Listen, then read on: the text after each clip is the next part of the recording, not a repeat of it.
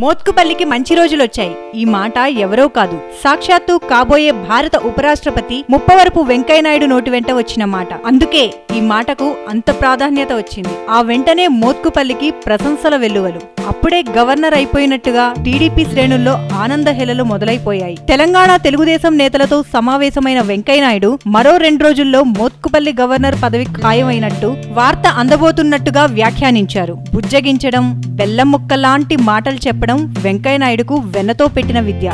ఎప్పటినుండో governor పదవి కోసం వేచి చూస్తున్న మోత్కుపల్లి నరసింహులకు శుభవార్తను చెవిలో వేసిన కాబోయే ఉపరాష్ట్రపతి వెంకయ్యనాయుడు. అతి త్వరలో మోత్కుపల్లి గవర్నర్గా పదవి చేపట్టే అవకాశాలున్నాయి ఉన్నాయని వెంకయ్యనాయుడు చెప్పడంతో తెలంగాణ తెలుగుదేశం నేత మోత్కుపల్లి వ్రతం నేటికి నెరవేరినట్టుగా చెప్పుకుంటున్నారు. ఏది ఏమైనప్పటికీ తెలుగుదేశం అధినేత ఏపీ ముఖ్యమంత్రి తలుచుకుంటే జరగనిదేది ఉండదని.